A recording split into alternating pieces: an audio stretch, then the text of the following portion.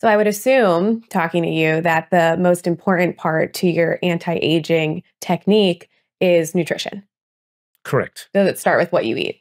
Absolutely. I mean, are, you're right. There are other factors that control aging besides nutrition, Mm-hmm. and we'll can get those out of the way because we're going to focus mostly on the nutritional aspects, Right. like exercise, sleep, emotional poise, lack of stress, all the you know happiness quotients. All those things affect longevity, but nothing affects longevity as much as what you put in your mouth. Absolutely. That's the number one factor that controls it. For sure. I feel like that makes the most sense. I don't know if it's because I grew up with you, but that absolutely makes the most sense to me. By the way, if you eat healthier, you sleep better. If you eat healthier, you have exercise capacity and you feel like being physically active. If you eat healthier, you're going to have less stress in your life and your mind's going to work better. And it's not, you know, you got it. There's other things we need too, but obviously the core basis is of good nutrition makes everything else easier to have go right in your diet in your life. And as it's kind of, they all are in a circle working synergistically with each other. And if you kind of focus on one, then you have an interest and it bleeds into the other and it goes into the other. So I think starting with nutrition is always for the best too, because it has such a big impact in the other aspects.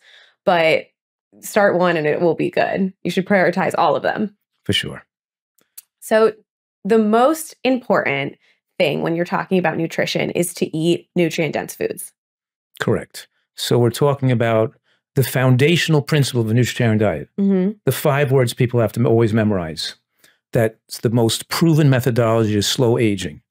And everybody should know these five words. Can I do it? Yeah. Okay.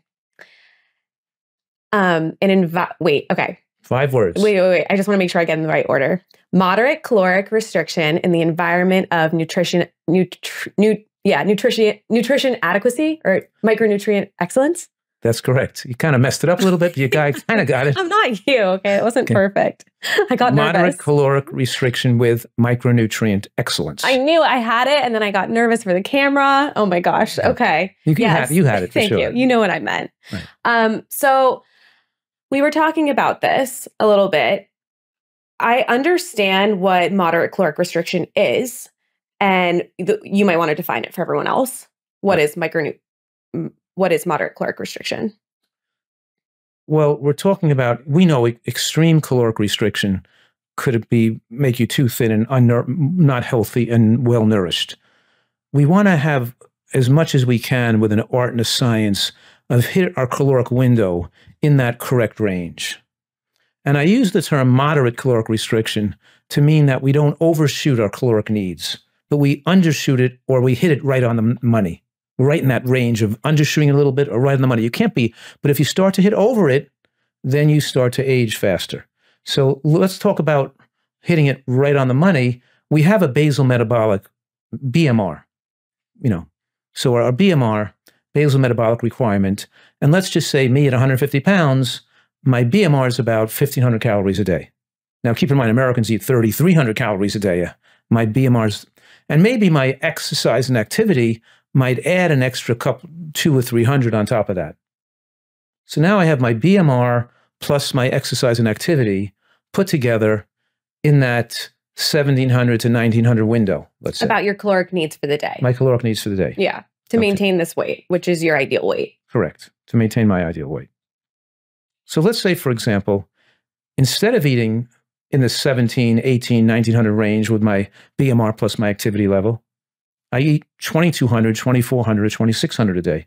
Then I'm going to age much, I'm going to age quicker because the extra calories that I didn't have to have, the body turns into, bio, raises the body's metabolism to burn them.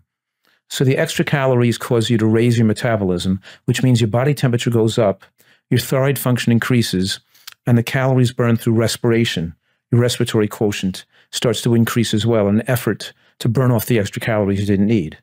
And all those signaling that the body has to do to burn off the extra calories means you're running your metabolic engine at a higher rev. You're running your car at a higher speed, and it makes you age faster and it cuts short your lifespan. Does this mean there's less time to rest and digest when you are constantly eating? And that also increases Yes, that's the true. metabolic rate and inflammation? Does- that's true too, is that to digest properly, we need to have digestive enzymes that aid in the digestive process. And when we eat a meal, there's so much digestive enzymes present to digest that meal and they expunge themselves and empty their contents into the digestive tract and they take hours to replenish themselves again and you could be eating again before you had replenished them or you ate till you were full and you ate till you were lost the, the capacity to efficiently digest then you get more bacterial overgrowth more yeast formation more toxic formation and, and an unhealthy microbiome from eating till fullness and the empty cal- extra calories you didn't need. So you form more toxicity for excess calories. And the excess calories, of course, raise growth hormones too that also interfere with lifespan. So we're trying to be the best scientist slash artist. So every person knows their caloric needs, and where people can regulate that easily by seeing how much they weigh, by knowing their body fat. So by combining exercise, good health, and good sleep with eating right, we can keep our body fat low as we and our ratio of muscle tissue to body fat low, so we age in good health, which is the complete opposite of what Americans how Americans live, how they think, and and what they're doing to protect their health. They're doing the complete opposite. They think it's healthier to have a faster metabolic rate, so they can eat more and not gain weight, and we're saying, no, it's better to have a slower metabolic rate so you can eat less, and, so you can eat less and not get too thin. So we're trying to eat so healthy that our body runs so efficiently and so without effort, so it doesn't even need as many calories now. If you eat really healthy, you don't have to eat as many calories to meet, get your nutritional needs met. You're comfortable with less. And now, instinctually, you desire less calories.